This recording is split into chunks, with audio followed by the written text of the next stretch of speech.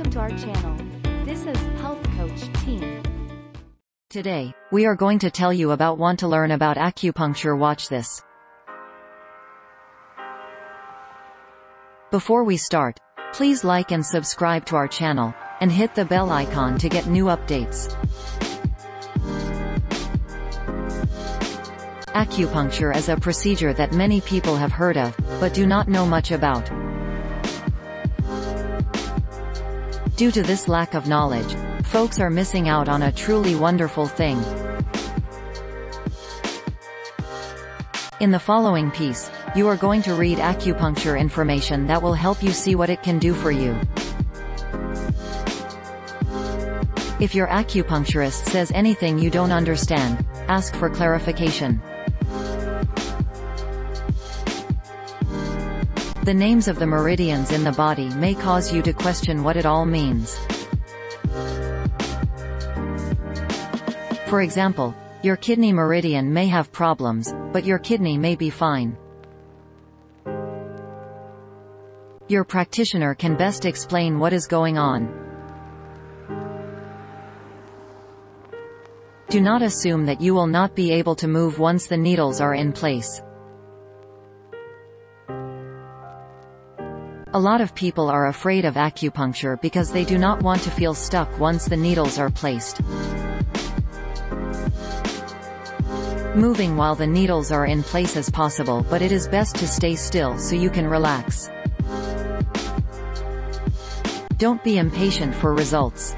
Most conditions won't be adequately treated until 30 appointments have passed. While you will not receive overnight results, you will receive long-lasting results once the treatments are underway.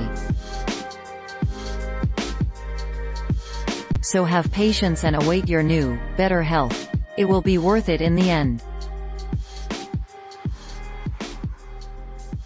Do not hesitate to remove a needle if it makes you feel uncomfortable. Once your acupuncturist places the needle, you will be left alone for a while for the treatment to take effect.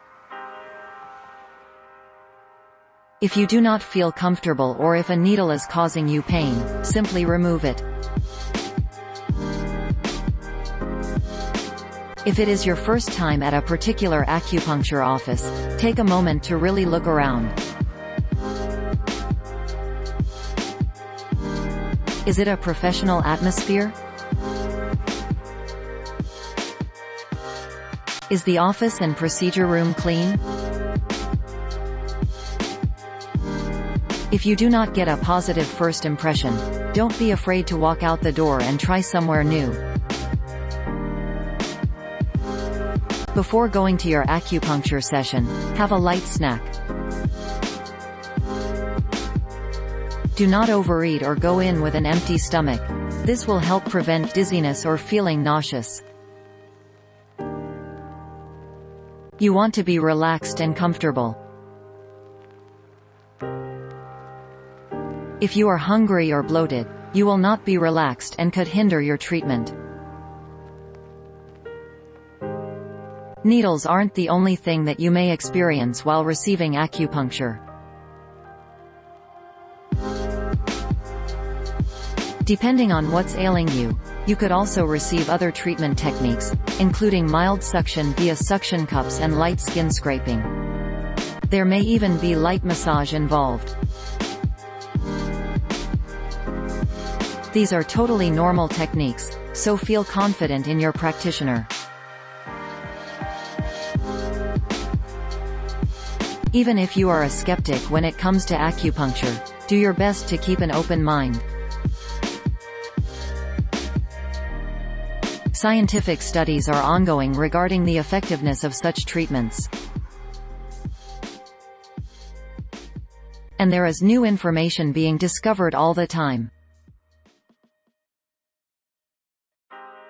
Keep up to date on current research, discuss your findings with your doctor and consider acupuncture treatments for your health conditions.